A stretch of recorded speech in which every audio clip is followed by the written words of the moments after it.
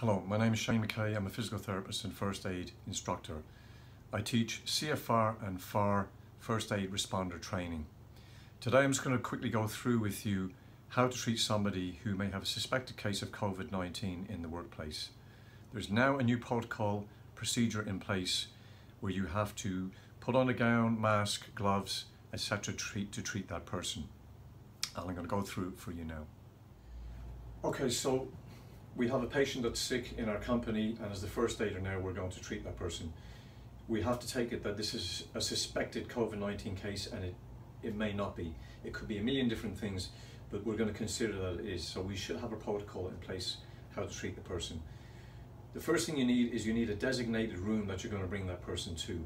It should have windows and it should have um, it should be airy, well filtered. Um, you're going to have to provide that person with a mask and tissues. First thing you're going to do after you bring them into the room, obviously keeping a two meter distance, is you're going to don your equipment. The first so thing you're going to need is a gown. And this is what we're going to put on first. First, so what we need is a, a long sleeve uh, gown. Pop it on like this.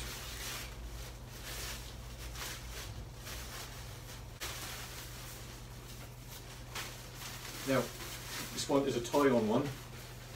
Some come with a button up, but the problem with the button ups is you need somebody to button it up for you, and you could be on your own. So I would probably go um, for something like this.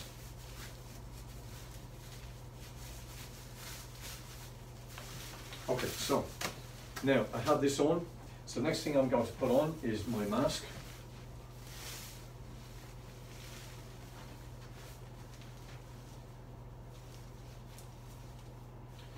Okay, so what you want is an FP2 or FP3. This is just an ordinary mask because I'm waiting on them. They're uh, in short supply. Um, but an FP2 and FP3 is a more surgical type mask is what you need. So there's a little bit here that kind of bridges around the nose, a metal bar, so you're going to put that on, put it around my ears first. And then I've got to squeeze on like this, okay?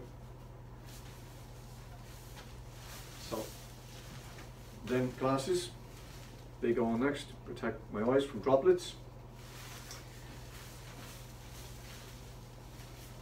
Then our gloves.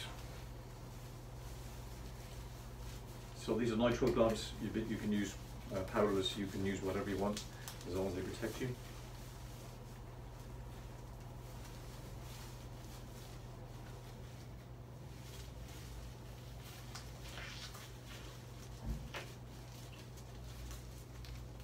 Okay, so now I've got all my equipment on, I'm going to treat my patient. And once again, this patient has been removed from wherever they were feeling sick, keeping a two meter distance in mind. I will provide them with tissues, I will provide them with a mask, I will then go through a screening process asking them how they got sick, um, when did they start to feel sick. I should point out as well, if anybody's feeling on sick in the morning before they uh, are coming to work, they shouldn't come into work, full stop. Night before, do not come into work. That is the protocol now in the workplace. But this is a case where somebody's just suddenly felt sick and you have to take it that it possibly could be COVID-19, not necessarily. So after going through the screening process with them, I'm going to treat the person for whatever it may be, okay? Um, even if it's a cut finger, I'm still going to take this process because we just don't know. We're getting close to the person, so that's the that's the issue. Once you've done that, uh, once I've got all my equipment on, I then need to get rid of uh, all the equipment. Now, I would only get rid of all of this once the person has no longer needs any more treatment and that they've been removed from the building.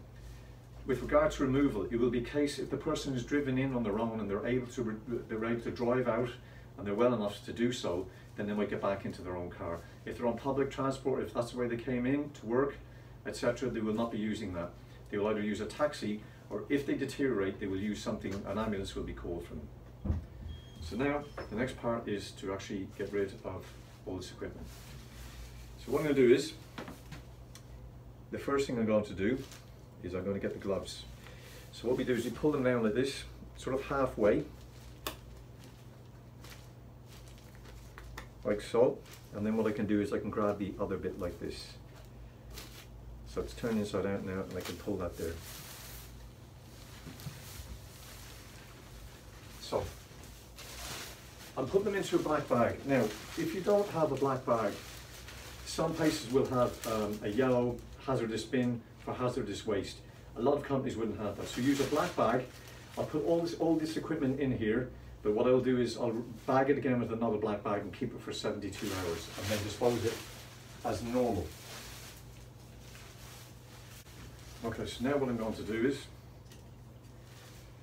after removing those gloves, I'm going to clean my hands again. Try and get all your fingers or your thumbs. Just to be safe be safe. Now, I've done another pair of gloves. Take the rest, rest of the equipment off. This is how we have to do it.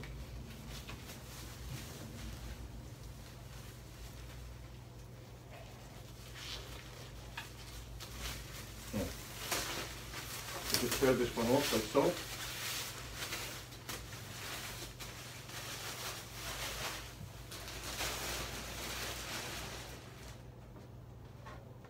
Glasses. Mask. Gloves off again.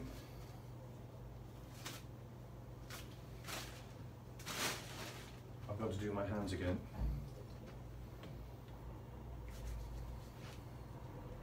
And what I can do is after this, I'll go in and wash my hands thoroughly then as well.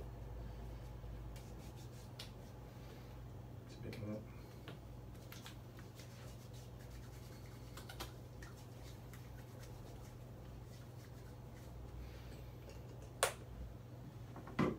So now I have everything in the bag here. And what I'll do is I'm going to put another bag around this and I'll, I'll tie it up again. This then is left for 72 hours and then can be disposed of as normal. As I say, if you've got a yellow hazardous waste bin, you can use that. A lot of companies wouldn't have that. So that's donning and doffing um, in the case